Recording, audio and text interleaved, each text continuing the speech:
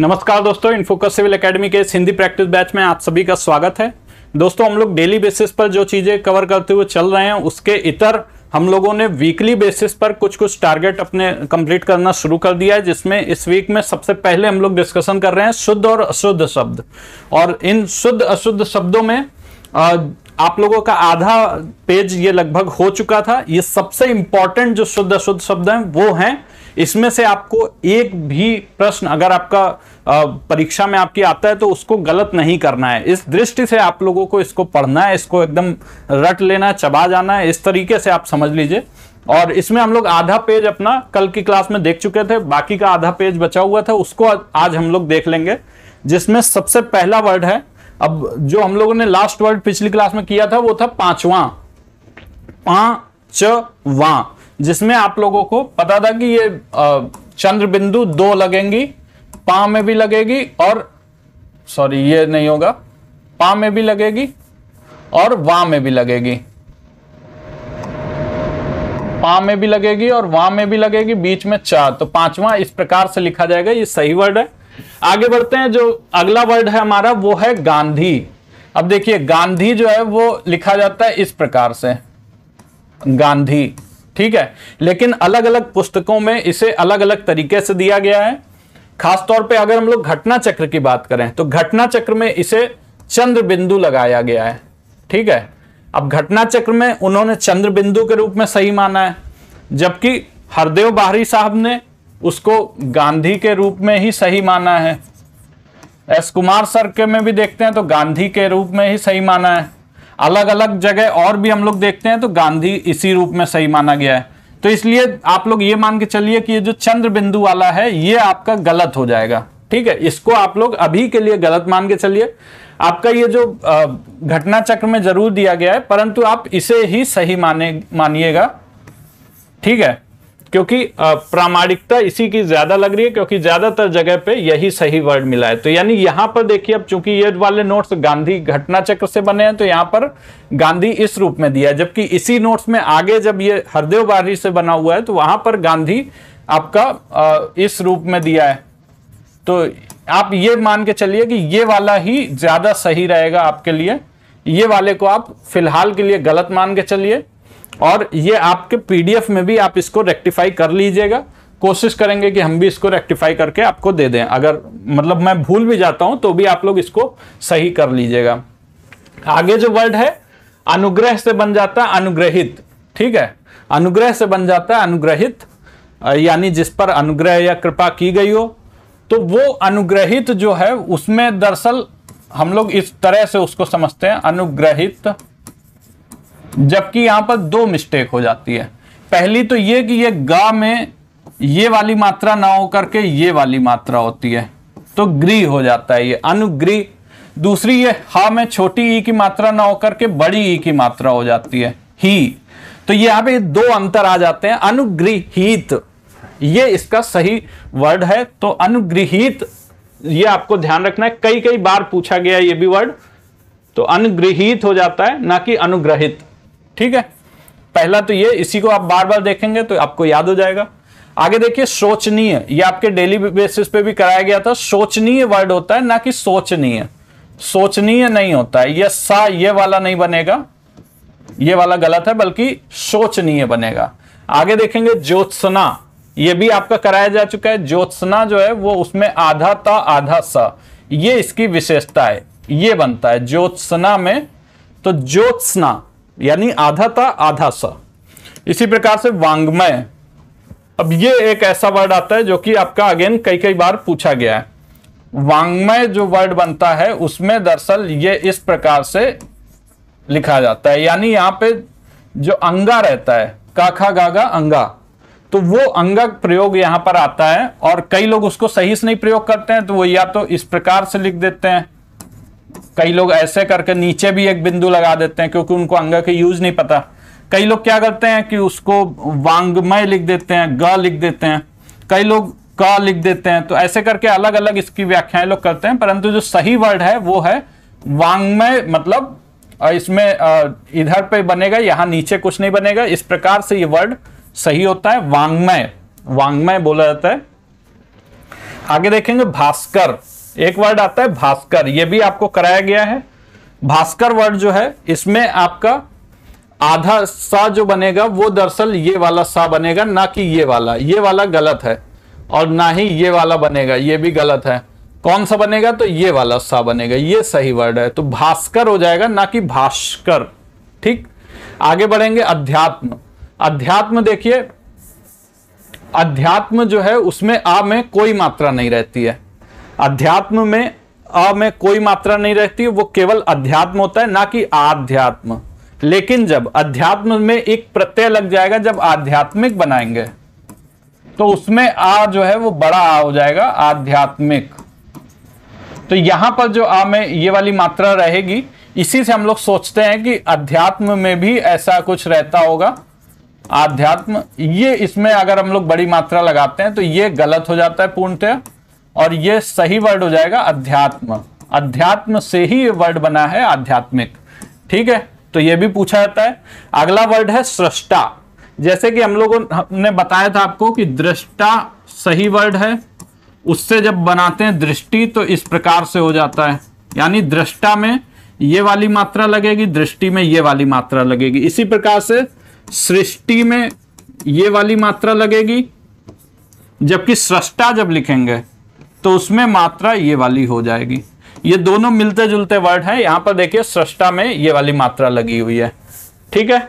आगे बढ़ते हैं। अनन्नास पाइन एप्पल अब पाइन एप्पल को जो बोलते हैं, उसमें अनन्नास में, अन्नानास वो उसमें इस ना के पहले आधा ना नहीं लगेगा, बल्कि दूसरे वाले ना के पहले आधा ना लगेगा। ये सब माइन्यूट सी चीज़ें हैं जो अक्सर हम लोग लिखते समय समझ में नहीं आता है।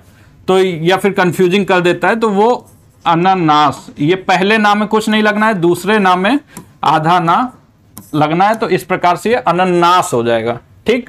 आगे बढ़ेंगे, खेवैया। खेवैया। अब देखिए, नाव खेने वाला, नाव खेवने वाला, ठीक है? नाव खेवने वाला तो उसको बोलते हैं खेवैया। और खेवने वाला है, ना कि खिवने वाला तो इस वजह से ये खिवैया नहीं हो जाएगा, खाने वाला नहीं, बल्कि खेवने वाला। तो ये खेवैया हो जाएगा। खेवैया। ये सही वर्ड है, ना कि इसमें ये वाली मात्रा लगा देना। ये गलत है, ये सही है, ठीक? न्योछावर। धन कर, धन न्योछावर करना। तो ये न्योछावर होता है, ना कि न्योछावर तो या में यहाँ पर डबल मात्रा नहीं होती है। देखिएगा, न्योछावर हो जाता है।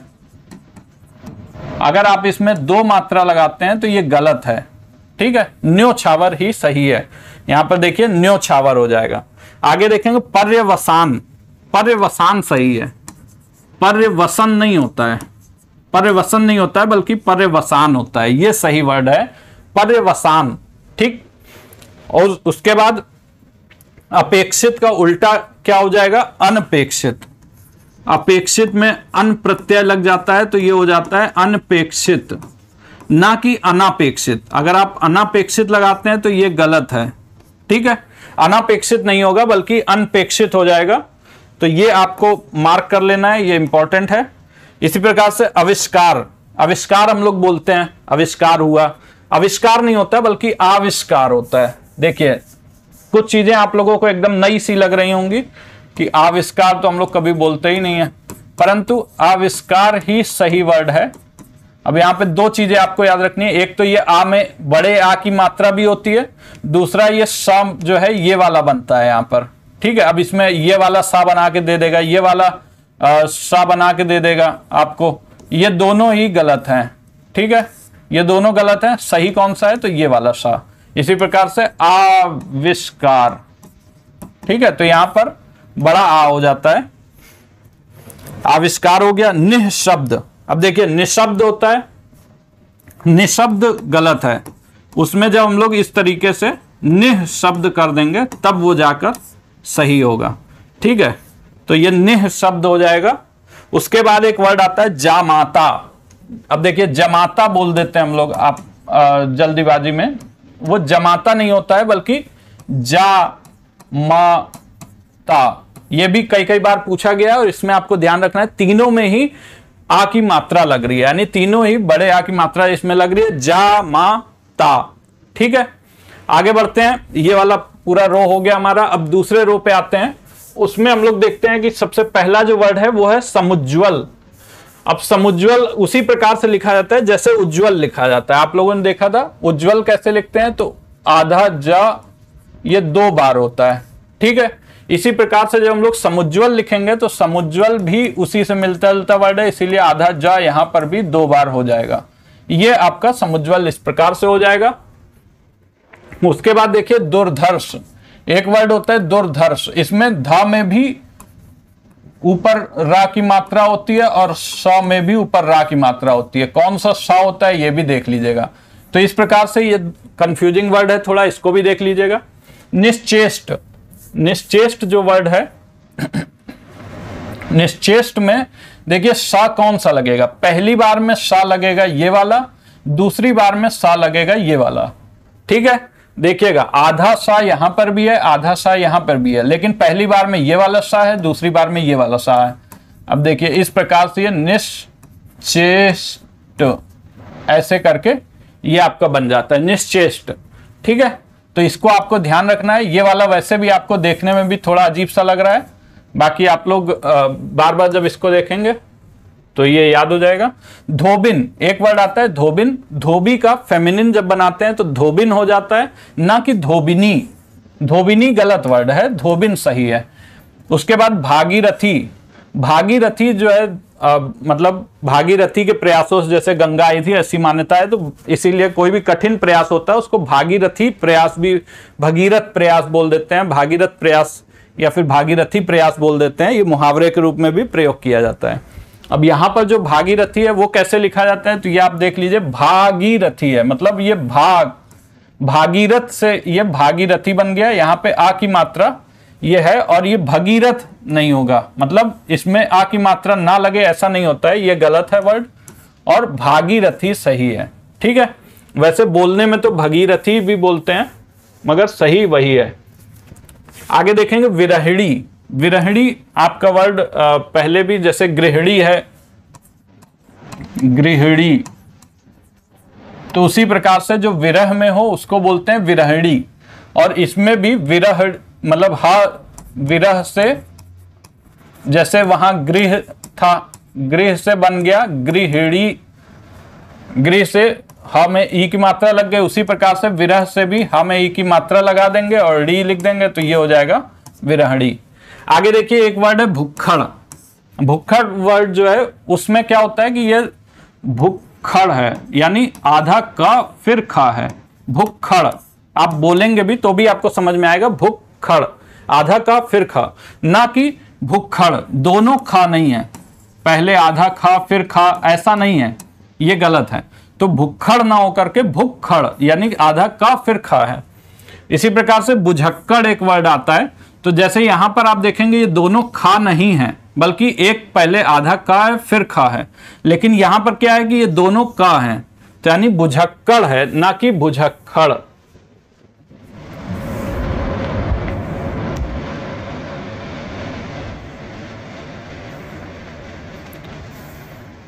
तो ये जो है बुझक्कड़ हो जाएगा आपका। ठीक है, ना कि बुझक्खड़ ठीक? तो यहाँ पर दोनों का हैं, इसको आपको ध्यान रखना है। गत्यर्थ। गत्यर्थ हो जाएगा। इसमें तो वैसे कुछ ऐसा कठिन है नहीं। गत्यर्थ में आधा आधाता और गत्यर्थ तो नॉर्मल वर्ड है। अंतश्चेतना। अंतश्चेतना एक वर्ड आता है। अंतस चेतना में देखेंगे, ये जो सा बन रहा है, वो ये वाला नहीं बनेगा, ये वाला नहीं बनेगा। ये दोनों ही गलत हैं। जबकि कौन सा सा बनेगा तो ये वाला। अंतस चेतना ठीक है? उसके बाद देखेंगे छिद्रान्वेशी छिद्रान्वेशी में स बनेगा, ये वाला। ये आपको ध्यान रखना है, क्योंकि ये वर्ड किससे बना है? तो छिद्र प्लस अन्वेषण।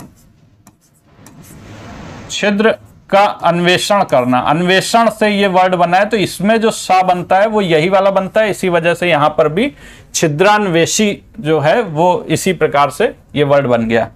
शुश्रूषा, अब देखिए, ये एक बहुत इंपॉर्टेंट वर्ड है, और आपका कई बार एग्ज़ाम में ये पूछा गया है, आप इसको भी आयोग का फेवरेट वर्ड कह सकते हैं। तो इसलिए इसको भी देख लेते हैं, कौन इसका क्या एग्जैक्ट सही वर्ड होगा। शुश्रूषा, देखिए तीनों ये एस एच वाले ही हैं। प्रोनाउंसिएशन तीनों एस एच से ही होती है। पहला होता है श्रु तीनों तरह के जो एस एच वाले प्रोनाउंसिएशन होते हैं, वही यहाँ पर हैं और तीनों ही प्रयोग में आए हैं। बस आप लोगों को उसका क्रम याद रखना है। पहला है श्रु दूसरा है श्रु सुश्रु तीसरा है सा ये तीनों वर्ड हैं। अब देखिए, इसमें पहला है शु, उसमें छोटे ऊ की मात्रा है। दूसरा है श्रु, उसमें बड़े ऊ की मात्रा है। और तीसरे में बड़े आ की मात्रा है। अब इसमें ये पहला, ये वाला सा हो जाएगा, फिर श्रा हो जाएगा, फिर ये हो जाएगा सा। तो यानी सेवा शुश्रूषा करना, उस हिसाब से शुश्रूषा।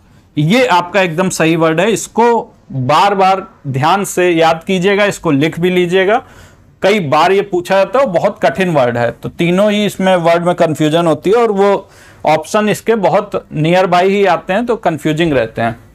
आगे देखेंगे, द्वारका पहले डिस्कस हो चुका है शायद। द्वारका में ये द्वारिका यानी छोटे ई की मात्रा नहीं होगी, बल्कि कोई मात्रा नहीं होगी, द्वारका होगा सिंपल उसके बाद एक वर्ड आता है पूजनीया। मतलब पूजने के योग्य। अब देखिए, जो पूजने के योग्य है, उसको या तो आप पूज्य लिख दीजिए, पूजने योग्य, या फिर लिख दीजिए पूज, पूज्य पूजनीय। ये सही हो जाएगा। दो वर्ड ये सही हो जाएँगे, परंतु पूज्यनीय, ये गलत है। पूजने योग्य को आप या तो पूज्य लिख दीजिए, नहीं तो पूजनीय लिख दीजिए, मगर पूज्यनीय, ये गलत वर्ड है।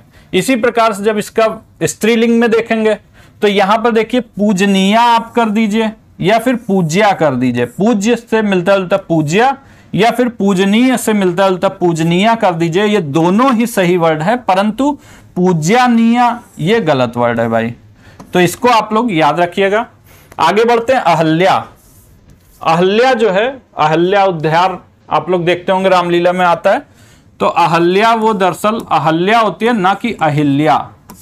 आपको जो पेपर आएगा उसमें इस प्रकार से भी लिखा होगा, अहिल्या। कई लोग इसको इसी प्रकार से बोलते हैं, पूरी तरह से गलत है, सही वर्ड है अहल्या। तो ये आपको ध्यान रखना है, कई बार ये भी वर्ड पूछा जाता है इंपॉर्टेंट है, अहल्या। उसके बाद वंदना।